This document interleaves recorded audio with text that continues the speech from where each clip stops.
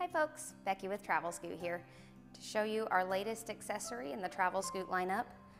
This is the water resistant AirTag carrying case. Let me show you how this works. When you receive this in the mail, you're gonna come out of the package like this. Two wipes and your case with the silicone protector inside. You've got a wet and a dry wipe. Removes the excess dirt, dries it, make sure your surface is clear of any dirt, debris, and oil. On the back of this case, you'll notice that there is a red 3M adhesive sticker. This is very strong and will adhere to anything that you put it to, onto on the scooter. When you open the case, inside is the water resistant silicone AirTag holder. You're gonna place your AirTag in here, place it down, open side down. That provides the water protection. Close it up tight.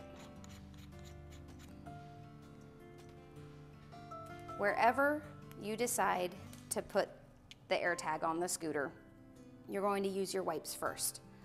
The wet wipe is to remove any dirt, excess oil, anything. Make sure you have a nice clean surface and then you'll dry that surface with the number two.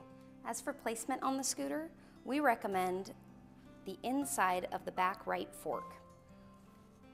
Do not cover the hole that's located here. You want to allow any water, if water were to get on your scooter, you want it to be able to drain freely out of that. So right here or along the side will be just fine. Another place that we recommend is underneath the seat.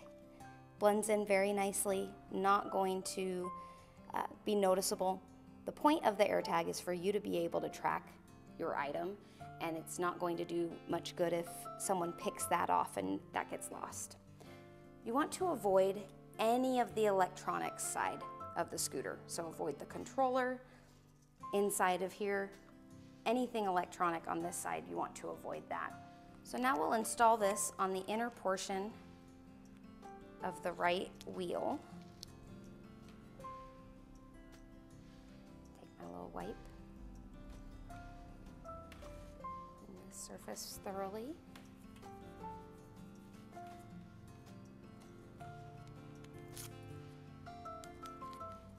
And dry it.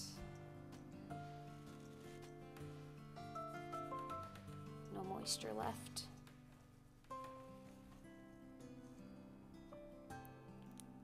Remove the adhesive covering. Press and hold it firmly for about five seconds or so, just to give it a good seal. And now you are set to begin tracking, having knowledge of where your scooter is at all times. Thanks for watching and happy scooting.